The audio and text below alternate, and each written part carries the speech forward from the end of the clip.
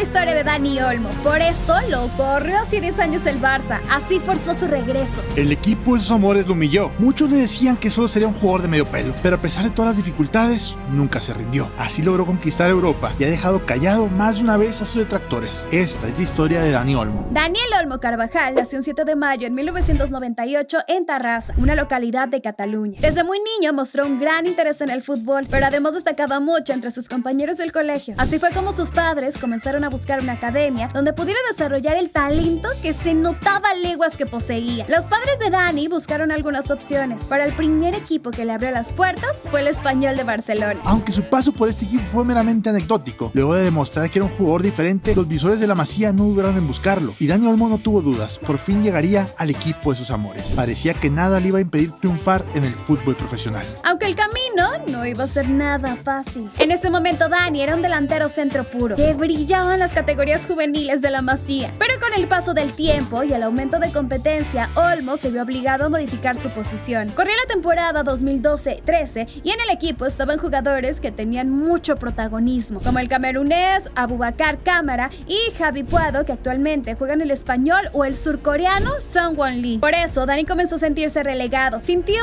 que no podrá tener los minutos que él quería y la directiva de aquel entonces no le dio ninguna seguridad, por lo que esa competencia y falta de atención lo corrió del Barça. El verano 2014, con tan solo 16 años, Dani Olmo firmó su traspaso al conjunto del Dinamo de Zagreb. Tras su salida del Barça, muchos lo catalogaron como un fracaso más de la Masía, asegurando que no tenía posibilidades de convertirse en un jugador top tras llegar a una liga como la croata. Pero vaya que estaban muy equivocados. Dani fue lento, pero seguro en su nuevo equipo. Tras dos temporadas en donde estuvo jugando mayormente con el equipo juvenil del Zagreb, Olmo por fin se integró de lleno al primer equipo, pero ahora totalmente reconvertido, jugando como un mediocampista que también podía jugar como extremo, pero mayormente creando oportunidades más que finalizándolas. Así fue cosechando los primeros grandes logros de su carrera. Cinco ligas en seis años, tres torneos de copa y jugador del año de la Liga Croata de 2018. Era claro que este chico no era un jugador normal, por lo que la selección de España comenzó a echarle ojito. Dani comenzó su proceso con su selección desde la sub-16, pasando por diferentes categorías hasta convertirse en el capitán de la España sub-21. Así lideró a esta generación de oro que ganó la Eurocopa sub-21 en 2019, anotando goles clave para el título. Por lo que así es, señores, este muchacho era de partidos importantes, pero era solo el comienzo de una historia llena de éxitos con la Furia Roja. En ese mismo año de 2019, Dani debutó con la selección mayor de España, además de que se fue fichado por el Leipzig de Alemania a cambio de 35 millones de euros.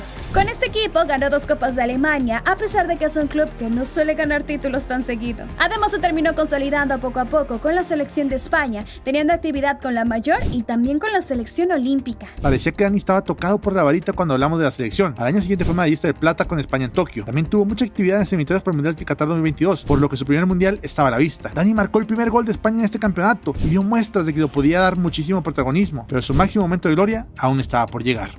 Reciente Eurocopa 2024 cuando Europa entera se rindió ante nuestro protagonista. Dani fue el máximo goleador de este torneo e hizo anotaciones clave para darle el título a España. El 10 de la selección, el hombre de los partidos importantes, el héroe de la Euro. Todo eso dejó en el Barça hace 10 años cuando lo vendió al Zagreb. Y vaya que pagaron caro este error. Hasta 55 millones de euros más 7 en variables fue lo que pagó el Barça para recuperar al que una vez fue su canterano. Y él mismo forzó su regreso. Sabía que iban a batallar para pero cuando tu casa te llama, tú regresas. Un fichaje que estuvo lleno de polémica, pero digan lo que digan, ha caído con el pie derecho en el equipo, jugando de medio centro y haciendo una dupla especial con Amin Yamal. Podría ser ese jugador que hace falta en el ataque, un jugador dispuesto a darlo todo, además de adaptarse a jugar en otras posiciones con tal de ayudar al equipo de sus amores.